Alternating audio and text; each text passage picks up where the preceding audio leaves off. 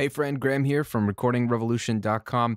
Today let's talk about bass guitar, specifically how do you get your bass to cut through on laptop speakers or iPhone speakers where so many people are casually listening to your music.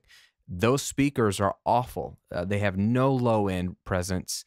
Um, they roll off the top end, of course, but you have a very mid range focused um, speaker, and your mix has to translate. It has to sound good there because um, that's where people like to listen to music. And as awful as those speakers are, um, a good mix should hold up there. And specifically today, let's talk about the low end. If you have a synth or a bass guitar, it really doesn't matter if it's uh, you know fake bass or, or acoustic bass or electric bass.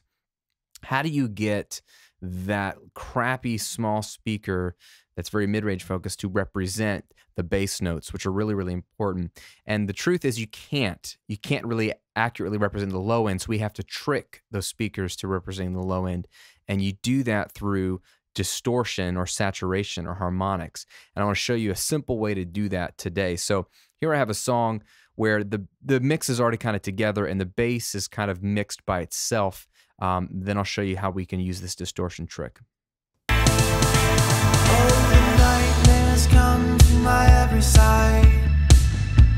Come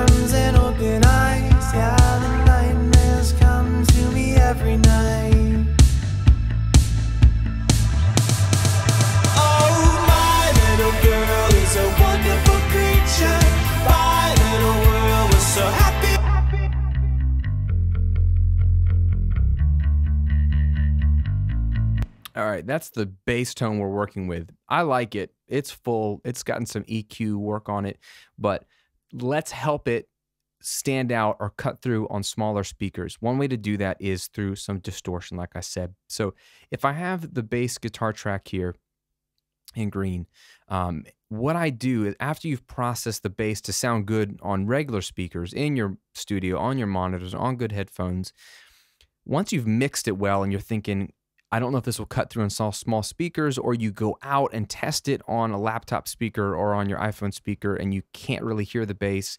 Then it's time to implement this trick. And what you can do is grab a send. In this case, in Pro Tools, I've created a send, which simply allows you to send a copy of your track somewhere else on a bus. Just like a bus takes people to different places in the city, a bus inside of your DAW takes audio to different places in the mix. So it's just going to take a copy of the bass guitar and hop on this bus, send it over somewhere else. I want to send it to a blank track that I've called bass distortion. And it's got no audio on it. And so I want to send it there. And I like to send it pre fader. All that means is this copy is sent before anything happening down here on the fader. So I could mute the bass track, but still hear the copy of the bass coming through here.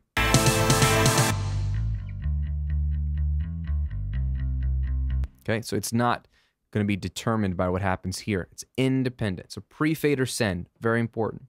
All we've done though is send a copy of the bass next door to a blank track.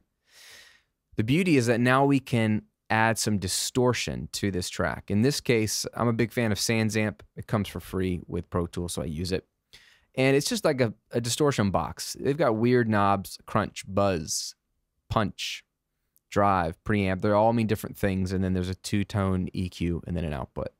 Uh, I just fiddle. I just fiddle around till I get a more sizzly, mid rangey, thin tone. Okay, so take a listen to what this is doing.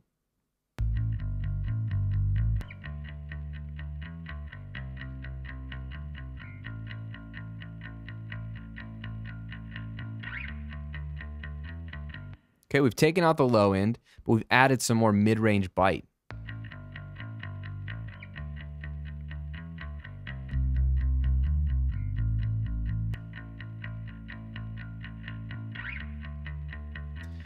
This is helpful to blend in with the original. So again, we have the original over here. And now we can blend in this guy. So let me pull the fader down and start dialing up or blending in this distorted track alongside of it.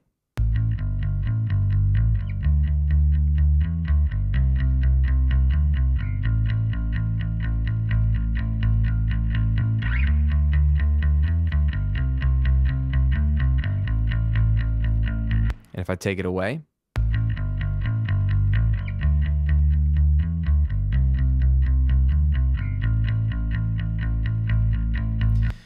So all we're doing is taking the full original bass and adding this mid-rangey bite with harmonics and a little bit of grit up top that low quality mid-range focused speakers like on your laptop or your phone can produce really well.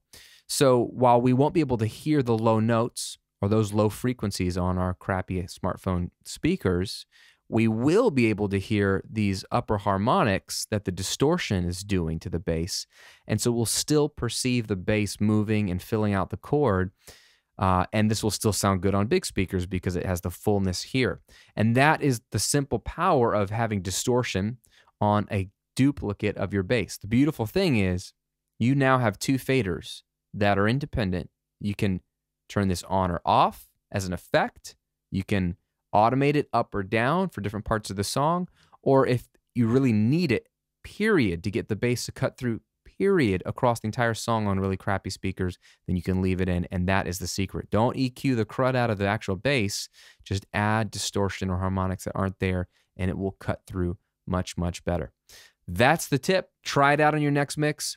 I'm sure you'll find a way to get it to work beautifully using any kind of amp modeling or distortion box that you have available. Now, before you go, I want to give you something that might help you out I didn't get to touch on the EQ of the bass guitar. How do you EQ a bass in the first place? And this is a huge part of getting your tracks to sit well on any speaker or any environment is EQ. Uh, I've put together an EQ checklist that is a step by step checklist for you to go through seven steps to how to think about using EQ in your software. So when you're mixing, you can take any track, like a bass guitar, synth, whatever, and know exactly what to do with an EQ to sculpt it and get it to cut through beautifully on any speaker that it will possibly be listened to. So to grab your free checklist, just go to eqchecklist.com. Put the link here in the video and in the description box. Just go to eqchecklist.com, download it. It's a one to two page PDF, super easy read. The idea is actually to have it printed out or keep it on your phone or tablet or whatever is near you while you mix as a reference. So when you're EQing your next mix, pull up the checklist and boom, boom, boom, walk your way through, and it'll help you make sure you get good sounding tracks every single time. So pick it up at eqchecklist.com as my gift to you. Thanks for watching. Subscribe to these videos if they're helpful, and I'll see you on another video real soon.